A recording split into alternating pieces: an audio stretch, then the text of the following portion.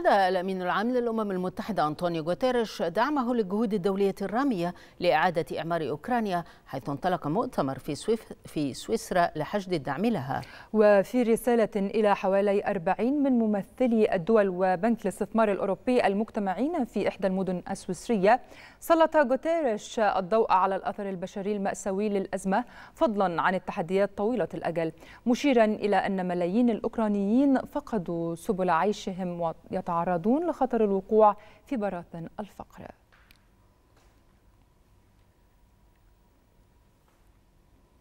أكد وزير الخارجية الروسي سيرجي لافروف أن العملية العسكرية بأوكرانيا ستستمر حتى تحقق أهدافها نافيا استهداف الجيش الروسي أهدافا مدنية هناك. وخلال مؤتمر صحفي عقب محادثات مع وزير الخارجية الفيتنامي قال لافروف إن التبادل التجاري مع فيتنام تطور رغم العقوبات الغربية. وهناك حقائق واضحة تقدمها وزارة الدفاع بشكل كامل وتام. وعلى الجميع أن يتحمل المسؤولية بصرف النظر عما يصرح عنه فولوديمير زيلينسكي أي الرئيس الأوكراني وعلى الغرب أن يحدد مسؤوليته قبل أي شيء في المناطق الأوكرانية التي يستخدم فيها نظام كييف الأسلحة ضد شعبه. طلب رئيس مجلس الدوما الروسي فياتشيسلاف فولودين الولايات المتحدة بوقف بحوثها البيولوجية العسكرية التي تجريها الولايات المتحدة في جميع أنحاء العالم مشيرا إلى ضرورة رفع السرية عنها. وقال رئيس مجلس الدوما الروسي إن الملايين من المرضى والمتوفين والأزمة الاقتصادية العالمية وانخفاض المستوى المعيشي للناس هي عواقب جائحة فيروس كورونا. مشددا على ضرورة أن تتحمل واشنطن المسؤولية عنها. بعد إعلان موسكو سيطرتها على لوهانسك تتجه الأنظار نحو بلدة سلوفيانسك ذات الأهمية الاستراتيجية شرقي أوكرانيا والتي تأتي ضمن حملتها العسكرية بإقليم دونباس. وقال رئيس بلدية سلوفيانسك إن قوات روسيا تستهدف البلدة بقصف صاروخي ومدفعي.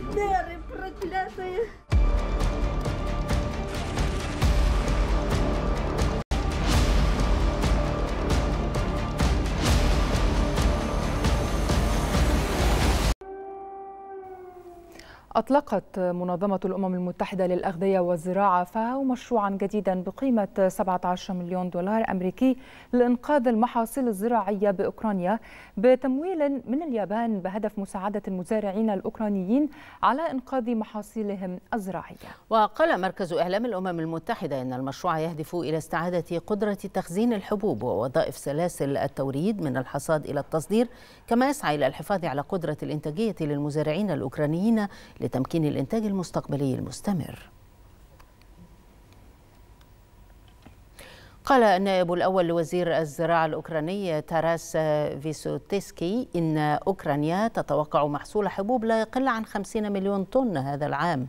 وأشار المسؤول الأوكراني إلى أن أوكرانيا سيتعين عليها تصدير ما لا يقل عن 30 مليون طن من محصول الحبوب لعام 2022 يأتي ذلك وسط تحذيرات أممية من أزمة غذاء عالمية جراء الأزمة الأوكرانية.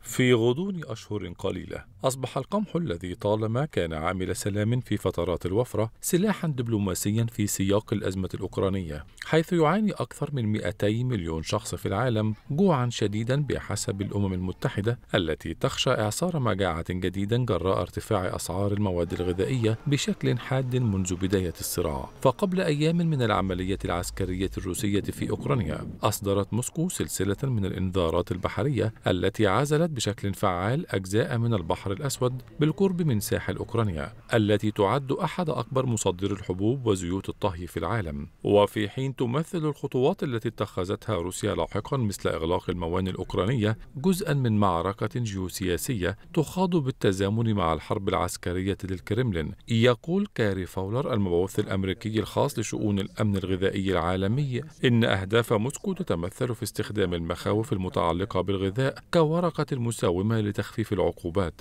وفي مفاوضات وقف إطلاق النار وبناء النفوذ والعلاقات التجارية مع الدول غير الغربية. ومثلت روسيا وأوكرانيا 30% من صادرات الحبوب العالمية. وفي السنوات الأخيرة ازداد إنتاجهما بشكل مضطرد مع احتلال روسيا قائمة الدول المصدرة فيما كانت أوكرانيا في طريقها إلى أن تصبح الثالثة. إغلاق بحر آزوف والحصار الذي فرض على الموانئ الأوكرانية الواقعة على البحر الأسود أدى إلى حرمان الأسواق من أكثر من 25 مليون طن من الحبوب التي أصبحت الآن عالقة في المزارع أو في مستودعات الموانئ. في الوقت الذي تتواجد فيه الأسواق التقليدية لحبوب البحر الأسود في شمال أفريقيا والشرق الأوسط.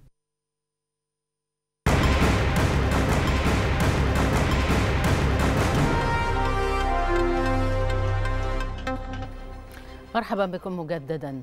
حذرت وزارة الخارجية الروسية من عواقب انضمام السويد وفنلندا إلى حلف الشمال الأطلنطي الناتو على مناطق القطب الشمالي والبلطيق. وقالت الوزارة إن انضمام السويد وفنلندا إلى الناتو سيفاقم الوضع الأمني بالبلطيق والقطب الشمالي وستصبحان هدفا للتخطيط العسكري للحلف. كانت فنلندا والسويد قد وقعتا بروتوكول الانضمام إلى الناتو. Uh, we will formally sign the protocols of accession.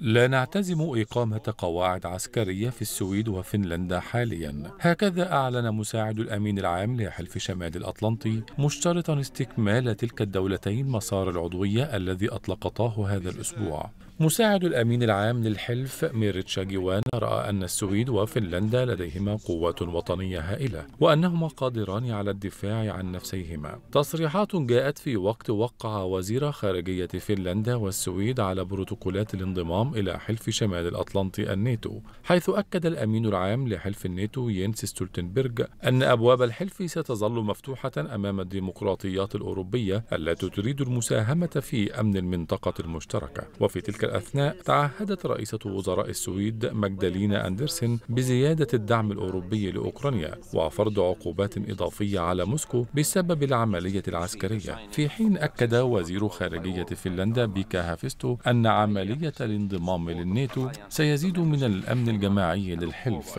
وبعد إطلاق مسار الانضمام بات يقع على عاتق برلمانات الدول الثلاثين الأعضاء المصادقة على انضمام أوسلو وهيلينسكي إلى الحلف الأطلنطي وعلى واقع محاولات انضمام السويد وفنلندا للناتو. كان الرئيس الروسي فلاديمير بوتين قد أطلق تحذيراته بأنه إذا نشرت في تلك البلدين وحدات عسكرية وبنى تحتية عسكرية ستضطر موسكو للرد بالمثل وخلق نفس التهديدات للأراضي التي تنطلق منها التهديدات لروسيا. Can we take